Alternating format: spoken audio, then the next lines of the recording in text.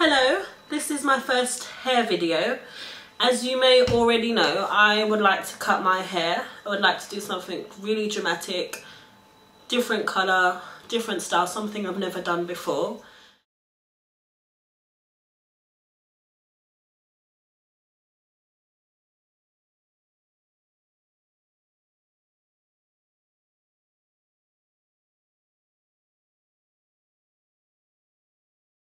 Before I do so, I've decided to experiment.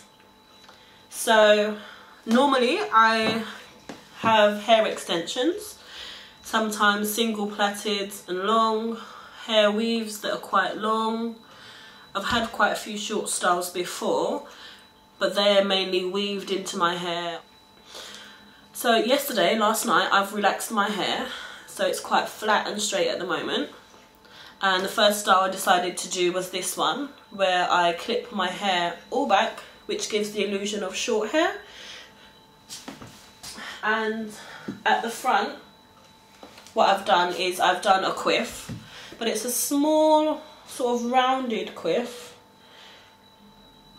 So it's quite pushed up at the front and quite flat everywhere else as I have relaxed my hair, I decided to pull my hair back and style the front as if it had been cut.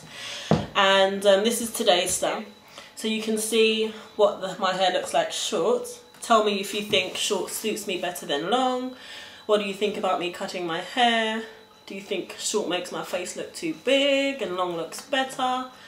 Um, don't forget to subscribe to my page by clicking the subscribe button and also comment. So I look forward to your views. Thanks for watching. Bye.